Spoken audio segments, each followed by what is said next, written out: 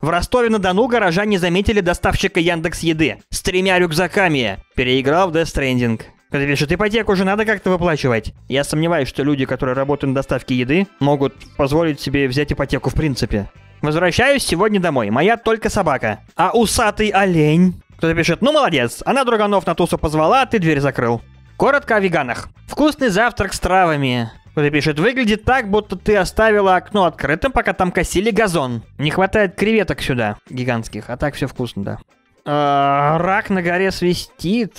Сколько же всякой фигницы сбудется.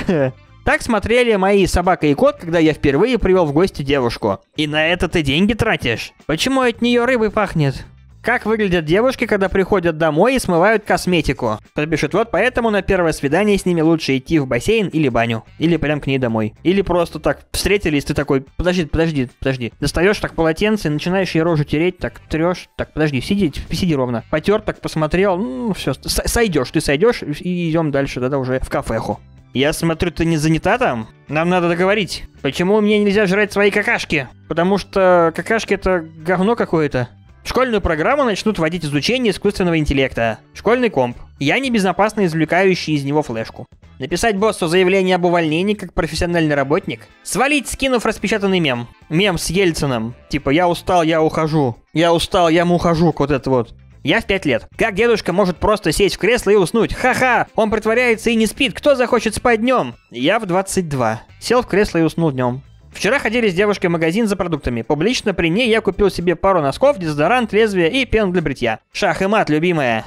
У тебя есть три желания. Три правила. Первое. Не желать больше желаний. Второе. Не желать суперсилы. Третье. Не желать жизни или смерти. Желание номер один. Никаких правил. И всем здорово, меня зовут Макс, ролике с вами будут мемасы. И не будет рекламы моей книги, не будет. Потому что я хочу порекомендовать вам портал Литмаркет. Литмаркет это самые последние книжные новинки и лучшие книги всех жанров. Портал не заточен под одну аудиторию, там можно найти все. От учебной литературы и сказок для детей, до триллеров и любовных романов. Ну и, конечно, фантастика, фэнтези и детективы. Возможность напрямую пообщаться с любым писателем. На портале уже присутствует Сергей Лукьяненко, Генри Лайон Олди, Алексей Пехов, Анна и Сергей Литвиновы, Вадим Панов, Елена Звездная, Ник Перумов, Павел Корнев и другие известные авторы. На портале можно встретить не только писателей и читателей, но и декламаторов, художников, книжных блогеров, работников, ведущих издательств и просто интересных творческих людей. Огромный функционал для писателей по монетизации их творчества. Если вы писатель, да, можете туда идти там выкладывать свои книги и будете их там продавать. На портале можно продавать электронные, бумажные аудиокниги. Кроме того, каждый писатель может найти и собрать свою собственную команду из бета-ридеров, корректоров, редакторов, художников, помощников, пиарщиков, короче, всего. И назначив каждому из участников свой процент от продаж. А еще тут проводят литературные конкурсы денежными призами. И возможность публиковаться в ведущих отечественных издательствах. Ну, КСМО, например. В общем, знаете, покупая книги на Литмаркете, вы покупаете их напрямую у авторов. Ссылка на Литмаркет будет в описании под видео.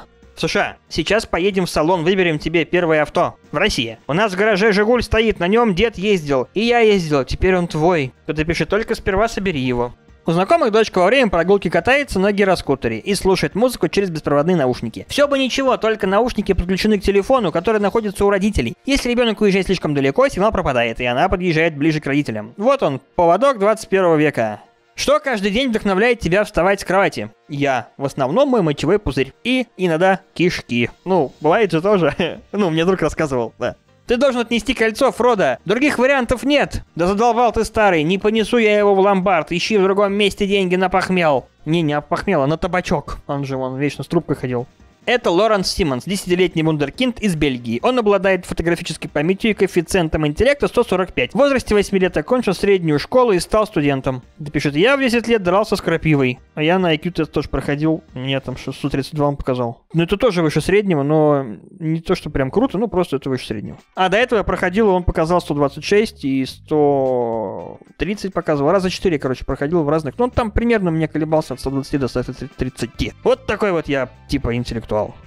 Я, как экстраверт, вижу свое предназначение в помощи своим друзьям-интровертам в тяжком для них взаимодействии с обществом. Спрашиваю что-то у консультантов за них. Срусь за их срусь, я хотел прочитать, срусь за, за, за их собак, ну, вместо их собак, короче. Ну, типа, собака вышла погулять, а ты такой подбегаешь, собаку так, а, в сторону, и сам срать садишься. А, простите, ладно. А, блин, что-то я чуть начал нести. Срусь за них с, с бабками, а, это вообще с бабками, я думал, с собаками. С бабками в очередях и еще много всего. Срусь вместо их бабок. Такая помощь реально священна, э, вы понимаете, да. В общем, все, что-то меня сегодня штырит, да. Странно, я сегодня победенник какой-то у меня. Какая у тебя суперсила? Я экстраверт.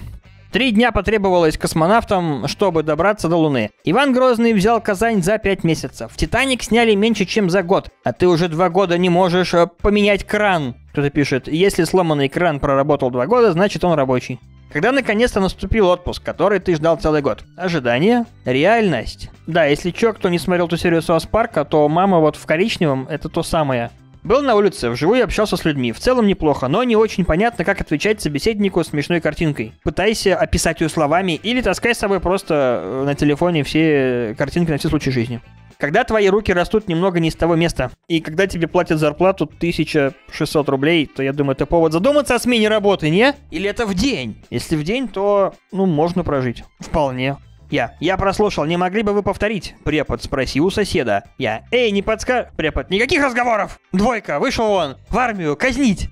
Часто фигурируют новости о хищении различных баснословных сумм денег. Одна из последних – 6,7 миллиардов рублей. И вот я решил посчитать, сколько мне понадобится, если откладывать всю свою зарплату. Сейчас 2020 год. Данную сумму я смогу накопить к 8270 э, году. 75 тысяч месяцев. 6250 лет. 62 с половиной века. А чтобы 6 миллиардов рублей были у меня сейчас, мои предки должны были в 4230 году нашей эры начать вкладывать эквивалент 80 тысячам рублей рублей ежемесячно. Это у тебя еще зарплата хорошая, чувак, я тебе скажу. 80 косарей, я когда работал работником, не ютубером, не писателем, у меня ни разу не было в Москве 80 тысяч рублей, никогда не зарабатывал столько. Максимальная моя зарплата была 75 тысяч рублей, я зарабатывал в месяц, заработал геодезистом, и мне поплатили 3 месяца, а потом такие, ну, может, поменьше, поменьше, и, короче, потом вообще я уволился, потому что мне ничего не платили план. А так в среднем, так обычно я за всю жизнь, сколько я работал, 10 лет, э, инженером, тренером, ну в среднем у меня где-то 1040, наверное, выходило. Так, потому что бывали моменты, я получал 15, бывали моменты, я получал 60.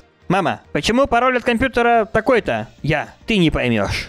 Недавно на телефон пришла смс. Твой парень тебе изменяет, причем не с одной девушкой. И с тех пор меня мучают вопросы, с каких это пор у меня появился парень, давно ли я с ним встречаюсь и что сказать жене. Котик, отдай мне мои сигареты. Не дам, потому что курение убивает. Если ты умрешь, кто будет чистить мой лоток? Правильно, не курить. Я вот не курю, и я этим горжусь. Нет, я могу, конечно, изредка выпить, но это так. И вообще я пошутил, я, я вообще зожник. Шутка. Было представлено первое игровое кресло, способное самостоятельно кормить игрока чипсами прямо во время напряженной игры. Кресло также оборудовано системой для отслеживания пульса, эмоционального напряжения и водного баланса. Осталось только добавить сральное ведро. Зачем? Можно просто срать. Есть собачью еду, грызть мебель, попросить человеческую еду, есть свое дерьмо. Ну или хотя бы разок лизнуть. Уникальное фото. Маленькая морковка обнимает маму за минуту до того, как ее съедает злой и голодный веган. Представляете, сколько веганов в данный момент поперхнулись морковью? Высморкались морковью. Пернули морковью. Любимый, я тебе подарок заказала. На 23 февраля сегодня в 12 принесут. Сердечко, оплати только наличкой. Ты мне сделала подарок за мои деньги? Ну да, а что? И это, знаете, э, розовый iPhone. Вот. Ну, типа, он такой, ну ладно, мне он, в принципе, не нужен, забирай. Никто, абсолютно никто, казахи когда замело. Казахстан – страна возможностей. Когда видишь в магазине книгу, как решить 50% своих проблем и решаешь купить две книги. Мне страшно отправлять резюме в компании, где в графике работы пишут с 9 до 5, а сама вакансия на должность выложена на сайте в воскресенье в 3 часа ночи. Так это график у менеджера по подбору персонала, очевидно. Японские железнодорожники строят специальные туннели, чтобы спасти черепах от гибели. Что может быть лучше такого факта? Ну, это, конечно, хорошо, но, честно говоря, я никогда не задумывался о гибели черепах. Ну, я думаю, вы тоже. Но если черепахи гибли, это было плохо, очевидно, да. Когда я планирую, что сказать? Когда я начинаю это говорить? Вот я, кстати, тоже не очень хорошо умею говорить. Я хорошо могу сформулировать свои мысли, если мне можно сесть, посидеть, пописать, то да, я могу все кратко, лаконично выложить прямо по делу. А на словах так сходу это бывает сложно, это нормально, кстати. Это вообще отдельный навык, надо красноречие развивать, ораторское искусство. И еще, если человек плохо может э, вещать на публику, то это не значит, что он тупой, это значит, что он просто, у него не развито ораторское искусство, и в голове у него гораздо больше, чем снаружи, чем на словах. Психолог. Выпусти своего внутреннего зверя наружу. Мой внутренний зверь. Я нехороший человек, убегайте. Когда на работе появилась свободная минутка. Девушки, парни. Блин, чё не курите? Вот серьезно, это такая параша, если честно. Но у кота-то понятно, что это жвачка. Когда заказал 6 наггетсов и получил 7. Я не просил об этом, я был избран. Ошибки сервиса, которые я могу простить.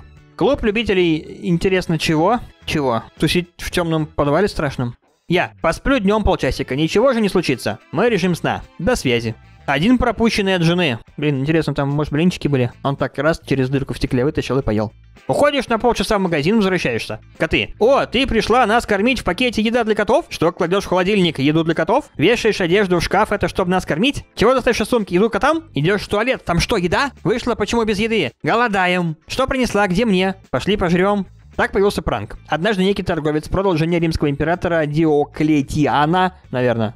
да, я еле прочитал это слово, имя человека. Кстати, внизу нарисован, по-моему, этот Цезарь, ну неважно. Все равно никто в этом не разбирается. Фальшивые драгоценности. Обман раскрылся, торговца приговорили к растерзанию на арене. Блин, почему нельзя просто было, не знаю, в тюрьму его посадить? Вот у них чуть что сразу. А, разорвать кишки. Что за люди были? Его приковали к большому деревянному ящику, в котором были заперты звери. Покинули арену и дистанционно открыли ящик. Из ящика на торговца вырвалась большая стая голубей, и император объявил. Он обманул, и его обманули тоже. Шутник был император, а тот чувак, э, вытирая какахи слях, тоже такой э, смеется с тикающим нервным глазом, и волосы сидеют на глазах. Это калиптра. Калиптра – бабочка-вампир. Обычно пьет жидкости из глаз животных, но не прочь и отведать кровушки. Недавно их обнаружили у нас в Сибири. Спокойной ночи. Когда пишет, это мои тапочки. Тапочки, э, зафигапочки. Обычно э, хренавчивают подобных тварей, залетевших в мою хату, но и не прочь подкинуть просто леща. Недавно их обнаружили у меня под диваном. Спокойной ночи, калиптры. Журнал заполняйте сами. Консьерж Ирина Викторовна Мяу. Ученые призывают э, не кричать на своих собак. У тех питомцев, которых часто ругают, ниже уровень счастья и выше уровень стресса. А еще у них увеличивается риск развития проблем со здоровьем. Хватит обижать собак. И есть собак тоже не надо. Я завожу собаку, чтобы охраняла дом. Собака охраняет дом.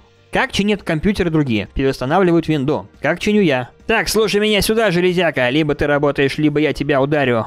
Ненавижу, когда люди, которые не носят очки, спрашивают меня. О, ты ничего не видишь? Сколько пальцев я показываю? Чувак, я вижу вот так, а не так. За секунду до мегакусь.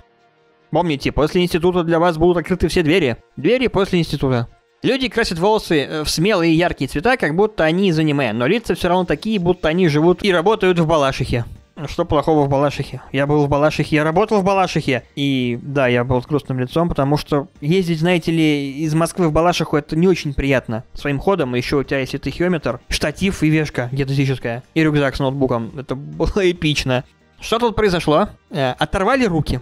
Универ на дне открытых дверей. Универ э, все остальное время. На дне. Универ на дне.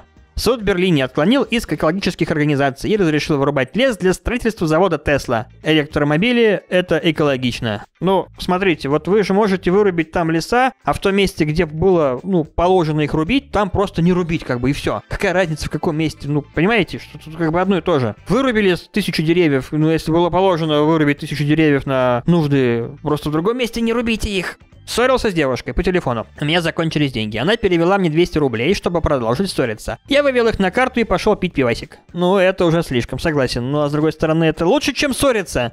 Спасибо за просмотр. Не забудьте заценить Литмаркет. Там книжки продаются. Да, я популяризирую литературу, книги, свои в том числе, и других писателей, и книжные магазины, потому что это прекрасно, это интересно, это клево. И это вообще отдельный мир, потому что воспринимать историю путем чтения гораздо круче, чем смотреть фильмы или смотреть фильмы. Все, спасибо за просмотр. Всем удачи, всех люблю. Пока-пока.